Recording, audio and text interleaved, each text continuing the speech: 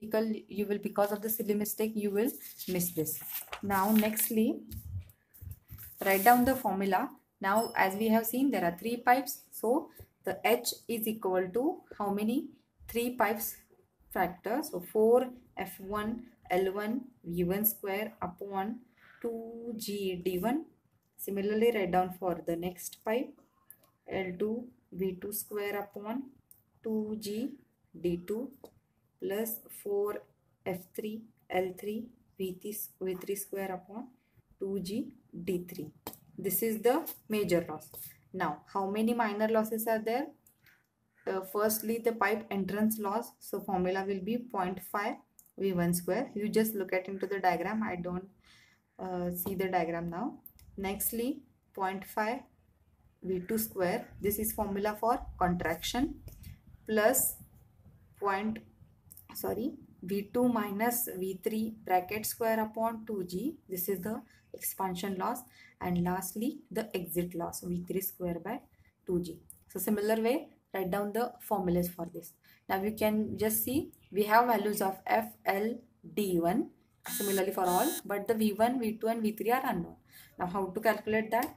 Now q is equal to a1 v1 equal to a2 v2 equal to a3 v3 so write down the first relation. A1 v1 equal to a2 v2 and form v2 is equal to.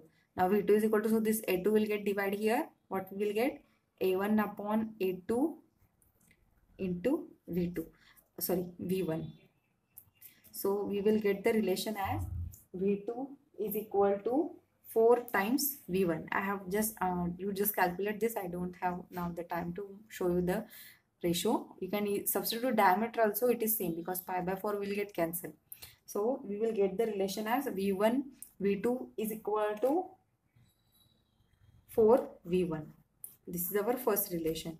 Similarly find the second uh, a1 v1 is equal. So a1 v1 should be common and use now a3 v3 now what is the next step v3 is equal to so transfer this a3 here a1 upon a3 into v1 so we will get v3 is equal to 1.77 v1 so these two relations we will get. Now what we have to do? Substitute this value of v2 and v3 in the form of v1 in this above equation. What what are the changes now? And remember while solving the numerical it is very essential to write the value in the formula also. Don't write the form just just don't write the formula and write the answer. It, the it has a step marks that while write after writing the formula you have to put the values in also. So the h value is given 12 meter equal to 4 what is the value of f? 0 0.005 into L1 is given 400 meter and now the what is value of V1 V1 will be as it is. So it is V1 square. Upon 2G is constant diameter is 0 0.4 meter. Just look at I don't the diameter D1 is sorry 300 so it will be 0.3 meter. Length will be 300 meter. So here length will 300 meter now there is a one mistake here sorry i have just seen another numerical we don't get this value we will get v2 is equal to 2.25 v1 and v3 is equal to you just do that i will just here explaining the steps to you 0. 5652 V1. These values we will get. Now plus now 4 what is the value of F2 0 0.0052 L2 is given. Length 2 is given. 170 meters. Now instead of V2 now we have to put this value right? 2.25 v1 bracket square upon 2g d2 now the diameter d2 is given 0.2 meter. So yeah it's 0.2 meter plus same step 4 into 0 0.0048 length is given 210 meters and the di uh, sorry. And here instead of v3 we have to write this relation 0 0.5625 v1 bracket square upon 2g into 0 0.4 don't have to write meter. So this is all about the major loss. Plus now just remember this will goes on increasing. So make sure that you are writing this step on the top of the page so that it will easily shown to you. Nextly we have 0.5 v1 square upon 2g as it is. So v1 is unknown. Now here all the v1 square will get plus. Next is the contraction loss which is having formula 0.5 v2 square. But instead of v2 we have to put this 2.25 v1 bracket square upon 2g plus. Next is the expansion loss which is having formula v2 minus v3 bracket square upon 2g so instead of v2 write 2.25 v1 minus 0.5625 v1 bracket square upon 2g just remember the silly mistake will just lose your marks.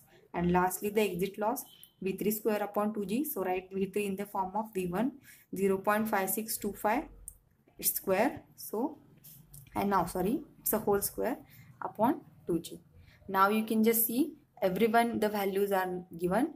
Just v1 v1 square v1 square v1 square v1 square v1 square and v1 square are unknown. Now in the calculator don't put all the values. Just remember v1 v1 square you can take it as common. V1 square by 2g or simply v1 to make the simplicity in the calculation. Now one by one just calculate this. 4 into 0 0.05 300 upon 2g just calculate the individual value in the form of v1 square and write here. So we will get 0. Point, if you take the common v, v1 square by 2g you will get 0 0.5 plus 20 plus 2.53 plus 89.505 plus 2.847 plus 3.189 plus 0.316 now just uh, add all the things and divide it by 2g and transfer on this side and calculate the value of v1 we'll get v1 is equal to 1.407 meter per second. So once you calculate this v1 just calculate q is equal to a1 v1 and we will get our final answer as q is equal to 0 0.09945 meter cube per second if they have said to calculate into liter per second multiply this term by into 10 raised to 3 remember the answer of discharge should be always in this range 0, 0.0 or 0 point something. Otherwise uh, just assume that your answer will goes on wrong somewhere. So i think i hope you understood how to solve the numericals connected in series. Now if we have to neglect the minor loss neglecting minor losses then what is the step? Just one two three these three you have to consider neglect all these four steps that's that's it and calculate the discharge that is nothing but the neglecting the minor losses Similarly, practice more numericals based on this connected in series. I will share the question bank with you shortly.